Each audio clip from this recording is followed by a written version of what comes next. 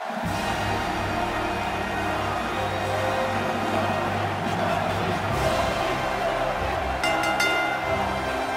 following contest is scheduled for one fall, making his way to the ring.